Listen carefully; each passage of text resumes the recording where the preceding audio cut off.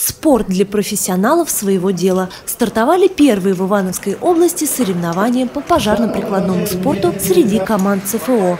За право называться лучшими – нешуточная борьба. В пожарно-спасательной академии собрались 18 команд из разных регионов. Всего порядка 200 участников. Здесь ребята э, показывают навыки и выносливости, э, значит, и скоростные, и вот, тут, тут полный спектр мероприятий, связанных с любой из дисциплин, которые вот можно встретить э, в любом виде спорта. Поэтому достаточно серьезно и достаточно тяжелый э, вид спорта, и где каждому из членов команды приходится показывать и командные, и личные результаты.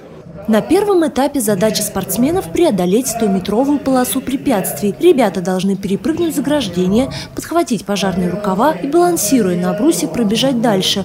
После будущие и действующие спасатели соединяют рукава между собой, подключают их к разветвлению и только тогда финишируют. Пожарно-спасательная академия города Иваново обеспечила здесь достойный, очень достойный манеж для спортсменов. Все условия созданы.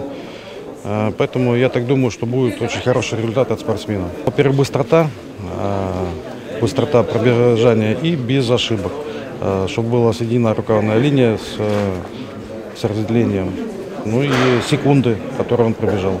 С заданием важно справиться не только быстро, но и качественно. Судьи оценивают то, как участник забега преодолел заграждение, как держит равновесие на брусьях и правильно ли подсоединил рукав к разветвлению и физический человек намного сильнее становится, и в каком-то там даже моменте там при пожарах это очень помогает. Работа с пожарными лестницами, с пожарным оборудованием, это рукава, например, с которыми мы бегаем на 100-метровой полосе с препятствиями. То есть все это при пожаре используется, и все как бы благодаря этим навыкам получается намного быстрее. Второй этап соревнований пройдет в среду. Спортсменам предстоит подъем по штурмовой лестнице на высоту четвертого этажа учебной башни.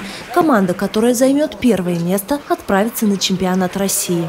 Мария Попова, Денис Денисов, РТВ Иванова.